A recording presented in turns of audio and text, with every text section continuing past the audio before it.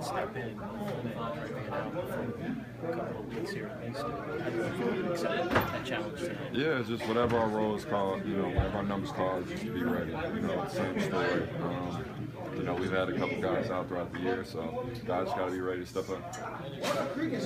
What was the team's reaction, you know, when he found out Andre was going to be out for a while? It's tough. He's our leader. You know, I mean, anytime you lose a Finals MVP to a team, that's a blow. Doesn't matter who it is. And so, um, you know, it was tough to see him go down. We want him to be healthy. The end of the day, you know, we're just concerned having everybody for the playoffs and healthy for the playoffs.